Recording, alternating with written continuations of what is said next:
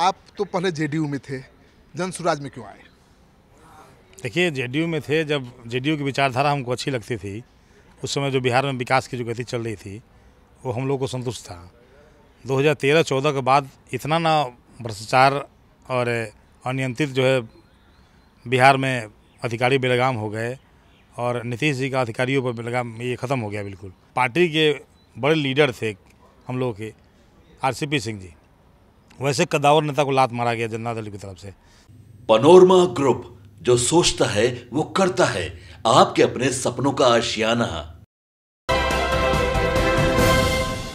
तो मेरे साथ हैं जन स्वराज पार्टी के नेता संतोष महतो जी। आप तो पहले जेडीयू में थे। जन स्वराज में क्यों आए? देखिए जेडीयू में थे जब जेडीयू की विचारधारा हमको अच्छी लगती थी। उस समय जो बिहार में विकास की जो गति चल रही थी वो हम लोग को संतुष्ट था। 2013-14 के बाद इतना ना भ्रष्टाचार और अनियंत्रित जो है बिहार में अधिकारी बेलगाम हो गए और नीतीश जी का अधिकारियों पर बेलगाम ये ख़त्म हो गया बिल्कुल। और जो आपसी सामंजस्य की बात किया करते थे, सबके सर्व समाज की बात की विकास किया करते थे, वो अधूरा रह गया।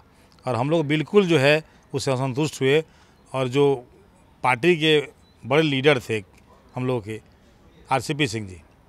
वैसे कदावर नेता को लात मारा गया जनता दल की तरफ़ से, जो काफ़ी ईमानदार व्यक्ति थे और जनता दल को उन्होंने काफ़ी सीधा था। तो हम लोग उनसे कहीं ना कहीं जुड़े हुए थे, नीतीश जी से भी जुड़े हुए थे, उनसे भी जुड़े थे। हम लोग को हाथ हुआ कि जो पार्टी का सिपाही है, उसको कहीं ना कहीं ये अथी किया जा रहा है। मतलब तिक्रम कर करके पार्टी से निकालने का रास्ता दिखाया जा रहा है और जो कनफुकवा लोग थे वो मुख्यमंत्री को करके ये थे। तो हम लोग ने नाराज़गी व्यक्त हुई, हम लोग जनता दल और आदरणीय प्रशांत जी, जब जनता दल के राष्ट्रीय उपाध्यक्ष थे तो हम लोग, हम उस समय प्रदेश उपाध्यक्ष थे वहाँ जदयू में। और जिला अध्यक्ष चारण के थे उसमें। तो उस टीम में हम लोग काम किए थे, बारह तेरह में, चौदह में। प्रशांत जी के नेतृत्व में हम लोग काम किए थे। प्रशांत जी के काम का हम लोग को तौर तरीका मालूम था कि ये कैसे कंपेन करते हैं। और प्रशांत जी का जो बातों जो हम लोग जो सुने, उससे हम लोग काफ़ी ओबलाइज हुए कि बिहार के विकास की बात वो करते हैं। बिहार में जो उद्योग धंधा की बात करते हैं और बिहार में एक अलग अलग जगाने की मतलब बिहार में एक नया क्रांति पैदा करने की बात जो करते हैं वो हम लोग अच्छा लगा प्रशांत किशोर तो जेडीयू में नंबर टू के पोजीशन पर रह चुके हैं। आपको उम्मीद है कि जेडीयू से और ज़्यादा बड़े बड़े नेता आएँगे जनसुराज में? निश्चित आएँगे। सभी लोग अपॉर्चुनिटी का तलाश में है कि कब पार्टी बने हम लोगों की। जन स्वराज एक नई पार्टी बनी तो अब लोग उबे हुए हैं। जनता दल से लोग उबे हुए हैं राष्ट्रीय ये जनता दल यू से।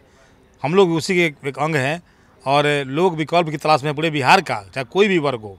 नीतीश जी को एकदम एन केन प्रकेन कैसे हटाया जाए, बिहार में, पूरी बिहार की जनता मन बना चुकी है और प्रशांत जी एक नए ऑप्शन के रूप में आ गए हैं बिहार में और निश्चित रूप से जन स्वराज एक नया क्रांति पैदा करेगी।